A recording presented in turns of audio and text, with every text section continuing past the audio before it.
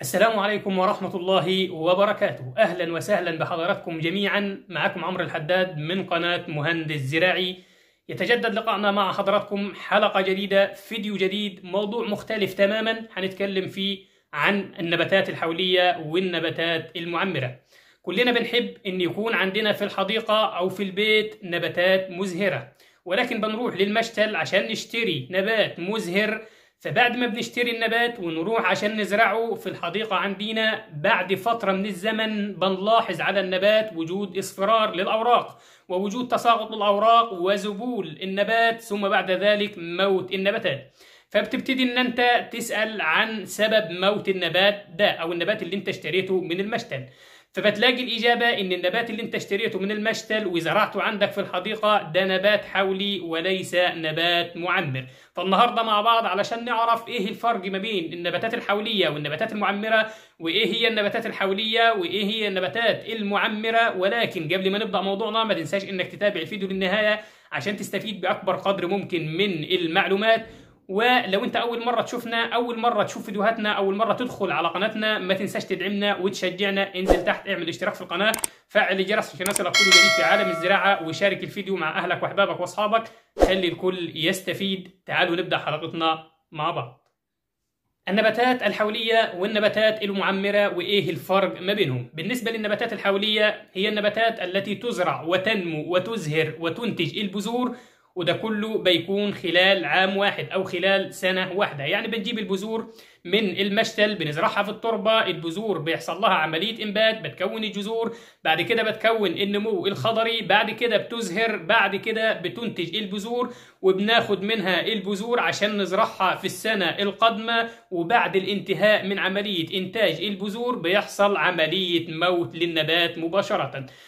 حياتها كلها أو مراحل حياتها بتكون في خلال سنة واحدة. النباتات المعمرة هي النباتات التي تظل في التربة أطول فترة ممكنة يعني أكثر من سنتين وعشان كده بيطلق عليها النباتات المعمرة اللي هي بتعمر في الأرض الزراعية أو في التربة الزراعية. نرجع للنباتات الحولية ولازم نعرف أن النباتات الحولية في منها نوعين في منها نبات حولي صيفي وفي منها نبات حولي شتوي.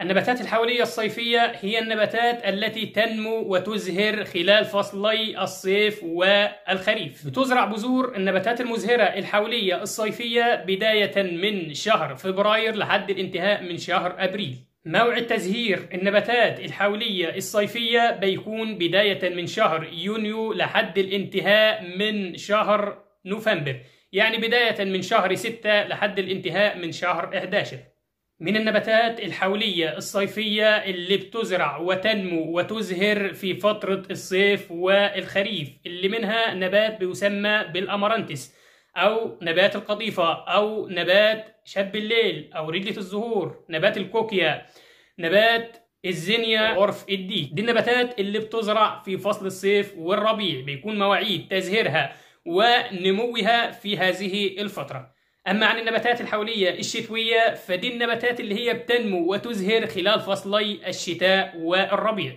بتزرع بذور النباتات الحولية الشتوية بداية من شهر يوليو إلى الانتهاء من شهر سبتمبر. يعني بداية من شهر سبعة لحد الانتهاء من شهر تسعة. موسم تزهير هذه النباتات بيكون بداية من شهر ديسمبر لحد الانتهاء من شهر مايو. يعني بداية من شهر 12 لحد الانتهاء من شهر خمسة.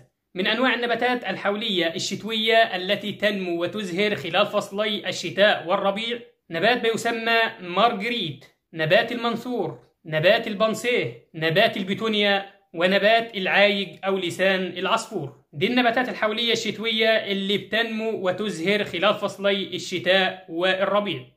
وده بالنسبة للنباتات الحولية اللي هي بتكمل دورة حياتها خلال عام واحد وبعد كده النبات بيموت وتجدد زراعته في العام القادم. أما عن النباتات المعمرة فدي النباتات اللي بتستمر في التربة أطول فترة ممكنة. واللي بتنقسم إلى قسمين نباتات معمرة صيفية ونباتات معمرة شتوية. أما الفرق ما بينهم إن النباتات المعمرة الصيفية بتنمو وتزهر خلال فصلي الصيف والخريف ولكن بتستمر في التربة أطول فترة ممكنة أكثر من سنتين.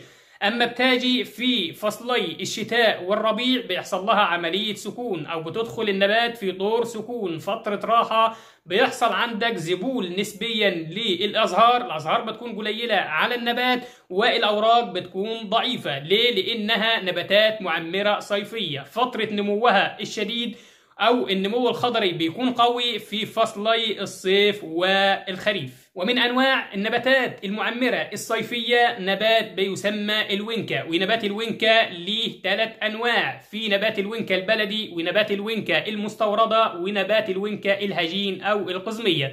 وإن شاء الله هنعمل فيديو هنتعرف بيه على نبات الوينكا وأنواعه وإزاي نفرق ما بين الثلاث أنواع.